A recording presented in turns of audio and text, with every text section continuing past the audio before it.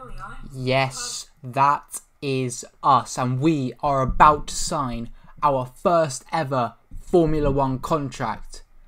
But let's take a step back. How did we get here? Yes, this is finally time. Welcome everyone to my F1 24 driver career mode. It's been ages since I've done a driver career mode, ages in real life since I've done a career mode, and I'm super excited on F1 24 to do this for the first time. And it first starts with the calendar, and thanks to you guys, you voted for which tracks you wanted to see on the calendar, and this is going to be it. We're going to have Bahrain, we're going to have Saudi Arabia, we're going to be going from Silverstone to Suzuka. We're going to have lots of exciting tracks on this calendar. We'll start off and quickly go through it. Then we start in Bahrain, go to Saudi Arabia, go to Australia, Japan. Then we have a very, very claustrophobic middle section in Europe Monaco, Canada, Spain, Austria, Silverstone. Then we go to Spa, missing out Hungary. We do have Imola as well. I did forget to remove that bef- after before.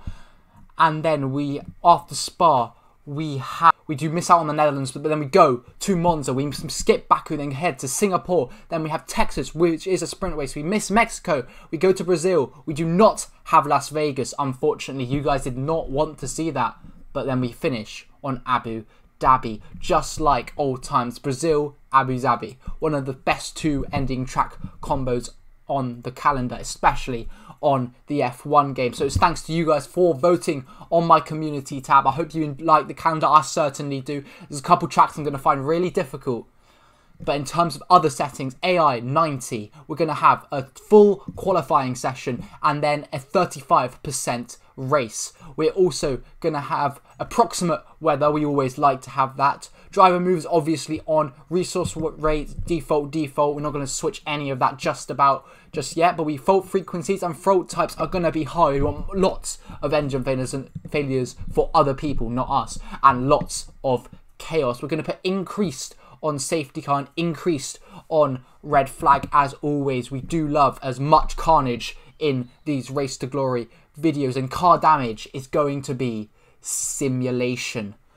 Yes, we are going to go extremely difficult for this. Low fuel mode is just going to be easy. I'm not very good at fuel to be honest, so I just keep it on whatever it starts me.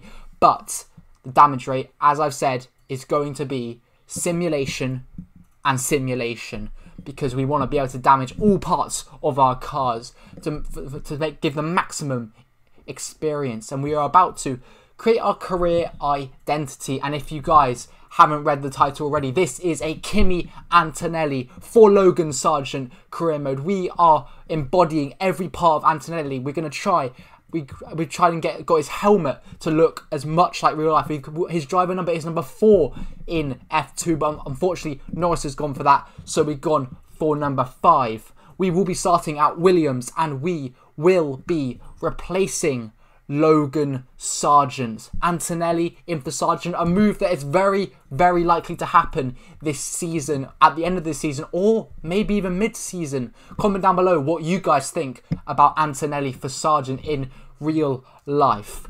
But we are going to be replacing him in the F1 game before 2024, and we are going to be the only rookie on the grid as Eleanor, our agent, waffles on about the the RT our RTG, but we will be starting as with Alexander Albon as our teammate, and that is how we got here. With a contract right in front of us, we can decide where we want to go. We could go 75 and get max as much R&D as we can. We could even go down in our racing if we wanted to, but obviously it's our first season. We don't we would improve a lot, but maybe not that much. So we're just going to go with what they recommend us and that is 69. Funny. But so that's a plus 4, only the one season. You can only do one season and we are going to sign our contract and there you go. We are on the Formula 1 grid. Eleanor knows what's what's happening. Let's go and crush F1. A new prodigy is on the F1 grid, and it's Kimi Antonelli.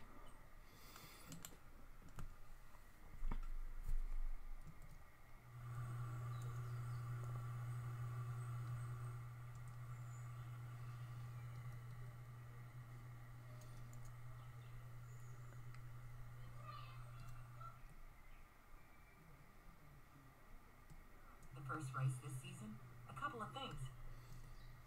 Throughout your career, you'll get a lot of important information. Keep an eye on this tab between each race to see what you've been sent. We also have a wonderful team of specialists that will be dedicating some of their time to help us this season. What do you have in mind? You should go and get introduced. Yeah, you'll find it. I promise. Driver details contains all the important information for your accolades, contracts, rivalries, and driver ratings. Keep an eye on it throughout the season. Hi mate, Mark here. I'm your engineer for the season ahead, and I'm absolutely buzzing to be working with you. When you're ready, come and see me over in R&D, and we can chat about the development of the car. See you soon.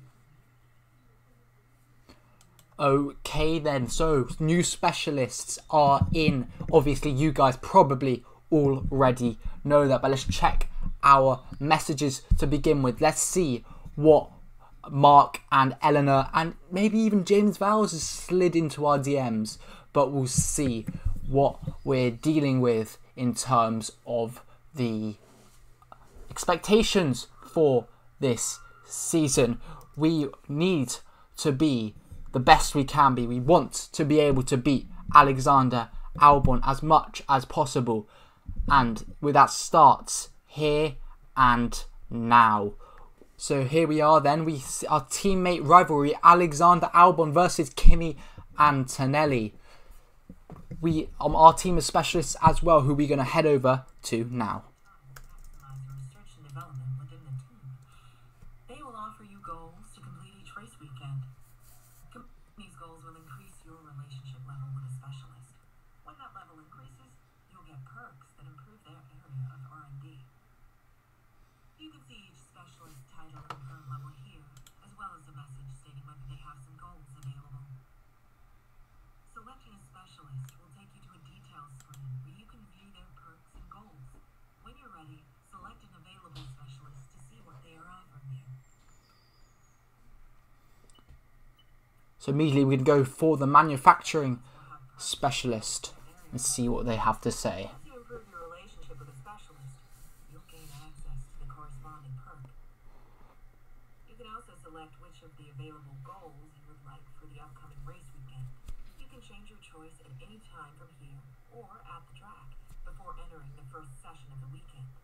After entering the first session, your selected goal will be locked in.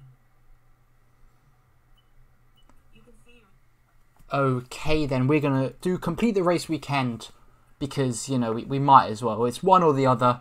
We're realistically we're gonna do both, and we get XP it seems as well. offer double XP for successfully completing goals to help you unlock their perks faster. You can choose any available specialist to be your primary and change this right up until you enter the first session of a race weekend. Welcome to your contracts hub. Here, you'll be able to view your current contract and all the information relating to it. To start, you can see all the base information for your current contract, your target rating, your current rating, and more. In this main area, you'll find a graph that tracks your rating each race. It will also display your target, so you can see how far off you are. Obviously, we haven't raced yet, so there's no data. Be sure to come back and check this after each race weekend. Okay, then so we have a target of 69 which we set ourself, and now it's time to advance for the first time and collect some resource points. Albon obviously gets more than us because he has more acclaim. He's been at the team for longer, but hopefully we will improve that soon. And now it's time to go to the grid reveal.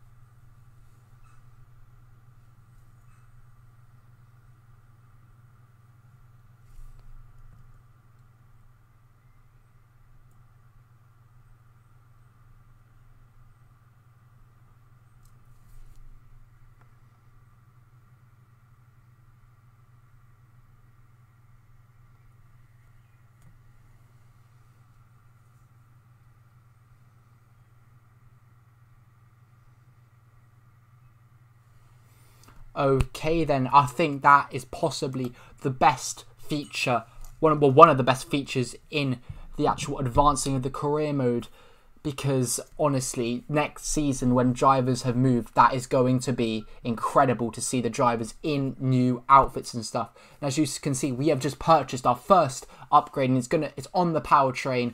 We think we need. I think I feel like we need more speed down the straights, even before the the, the season started. I'm just gonna go for that. I saw Albon had his eyes on aero as well, so we go straight in for uh for that. But now Let's go to qualifying, which we are here. Best possible grid position for tomorrow's race. Let's get on with it. It's qualifying for the Bahrain Grand Prix.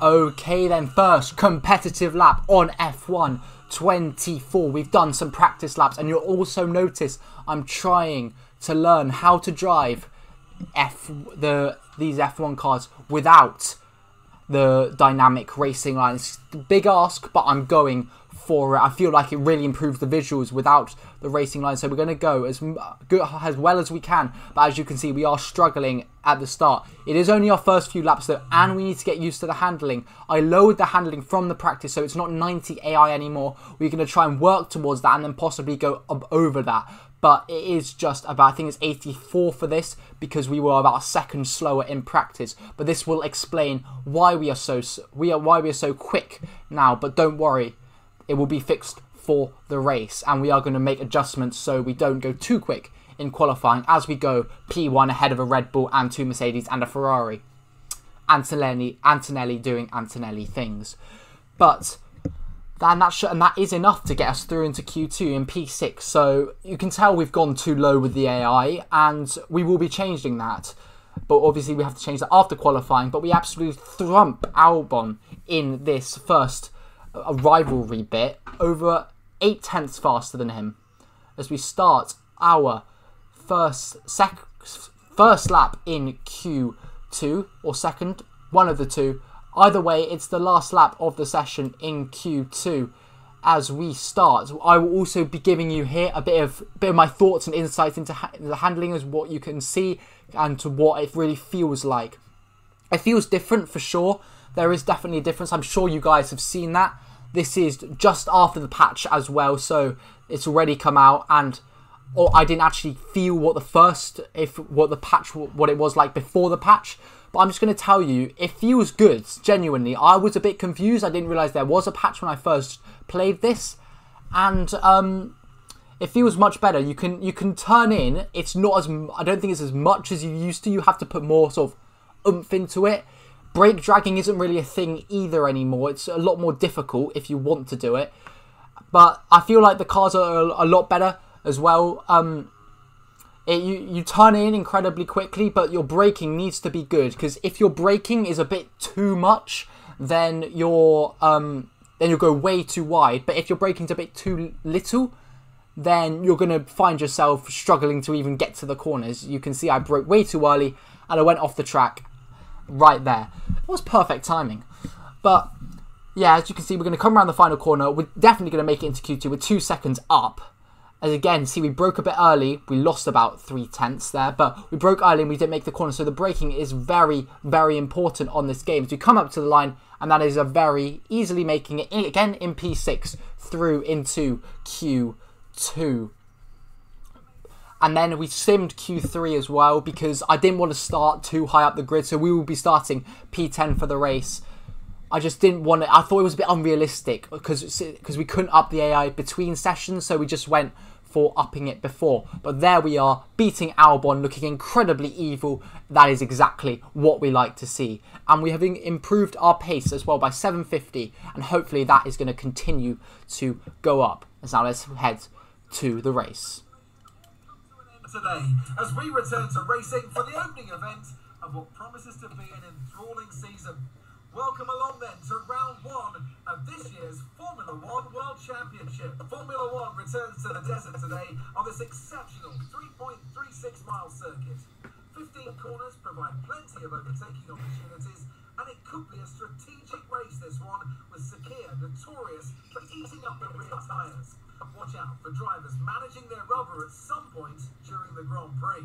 It's time to see how our drivers are stacking up after yesterday's exciting qualifying session.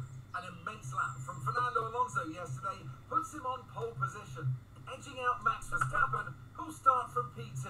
Looking at the rest of today's grid, we have Norris, Hamilton, Oscar Piastri, Russell, Sainz, Leclerc, Perez, a Williams, Ricciardo, Tsunoda, Stroll, Gasly, Ocon, Hulkenberg, Zhou, Bottas, Magnussen, and Alex Albon picks up the last spot on the grid.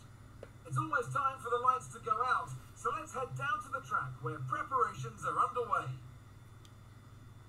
And alongside me in the commentary box today, a man who I always look up to, which is easier said than done, Anthony Davidson. Now, it's a new season, plenty of new opportunities, but I think I'm going to start with a question we may have asked last year as well. Can anyone stop Max Verstappen? That's what they're hoping for. And that's what we're hoping for as well in some ways because we don't want to see just one driver or one team running away with it this season like we had last year or even the years gone by in this sport. Can we get to see a two-way or even a three or four-way fight throughout this race today? Fingers crossed we'll get that.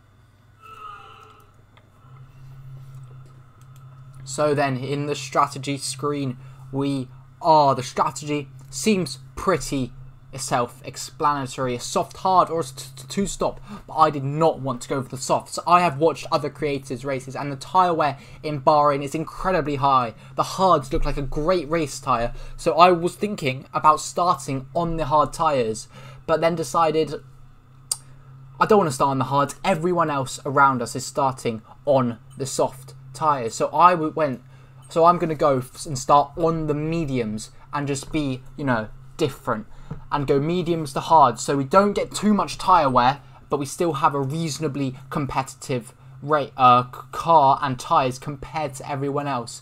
You see, it says it's three seconds slower. It's not. I did the maths, trust me.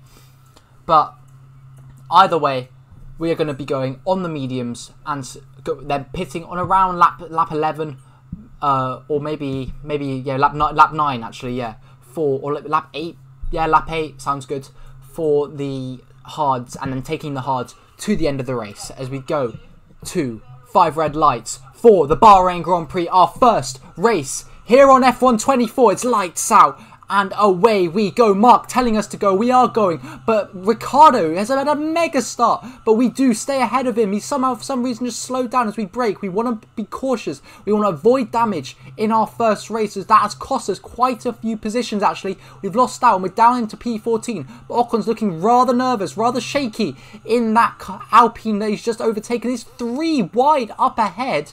And wow, Ocon's trying to get in the middle of it. We're trying to get in the middle of Ocon and they still going three wide, still going for it. That's incredible racing.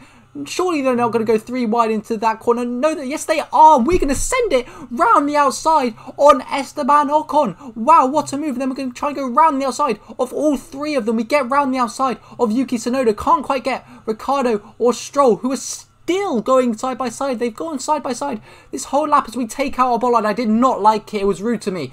But either way, Ricciardo and Stroll still going wheel to wheel. Stroll looks like he's got it. He's got a better drag. But Ricciardo, can he come back? Ricciardo's harvesting battery and he just loses out. But we cl come clattering into the back of him.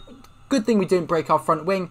But either way, Ricciardo and Stroll and Tsunoda, mega, mega battles on lap one. As we go a bit wide, you can see we're adjusting, uh, taking time to adjust to without the, the dynamic racing line. And we this looks like it's going to be a defensive race for us because even though DRS is enabled, we're struggling to stay within Ricciardo's range because he's just faster than us. He's got a faster car, and Tsunoda is all over the back of us on his soft tyres compared to our mediums. We are struggling a bit to keep it pace, but during some of the corners, we are catching up to him big time but then on the straights we just seem to lose, pull away, and I also forgot to turn off my ERS. So I'm down to 10% on the battery. So we're going to need to save some of that. but we need to stay within DRS of Ricciardo as well. So this is going to be incredibly difficult as Yuki Tsunoda goes from the move. You can see how much more battery he's got. We're going to try and hold it round the outside. Can we just do that? Uh, uh, what? Our engine's gone. Our engine's... it's actually happened. Our engine's gone in our... Wow. Well, uh, that was definitely not in the script. What? Our engines failed. Our, our engines actually failed in the fir- in our first race, in our debut race. We didn't even finish lap two. Oh my word, have you ever seen a worse rookie debut than that? Comment down below if you've seen a worse rookie debut than that, because I sure haven't. We barely lasted two laps.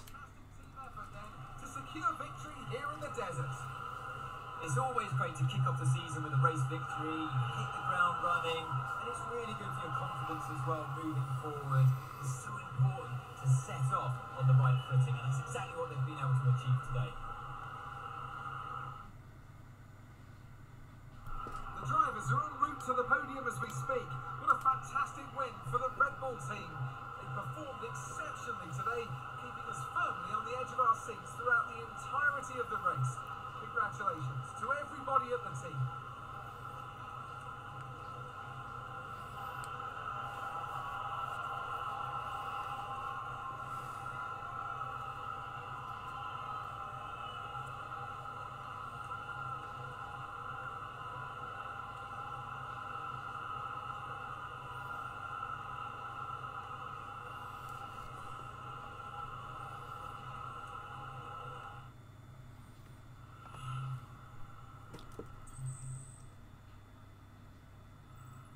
It's Max Verstappen then who wins the first race of the season, shock horror, and it's by a comfortable 8 seconds to Fernando Alonso, who started on pole. Piastri claims the final podium spot. Alexander Albon, our teammate, finishes in P16, but us on our debut got an engine failure before even finishing lap 2. I I honestly don't, don't have words. We're ahead of Kick Sauber on just the position, but what a awful, awful start to our career mode. Warner excessive parts, our stats gone down, we're now down to 65. Mark's had an email saying sorry, and he's given us 400 resource points, which haven't gone through, so he scammed us, so we've had a scam engineer as well. But I don't think that could have gone much worse, to be honest. Um, we've gone down in our rating. We've um, not even got points. Our engines failed on lap two, and it was the control electronics, which is the probably the most important engine part as we only have two of it. So we'll be taking penalties we know already at some point in the season as we've only got one other. But that is a premature end to the episode, guys, because of the engine failure. But thank you guys for watching this. If you do enjoy, make sure to subscribe. It really helps out the channel and I'll see you guys next time for the Saudi Arabian Grand Prix. Hopefully our engine doesn't engine doesn't fail then. See you guys then. Make sure to hit the like button and subscribe. Goodbye.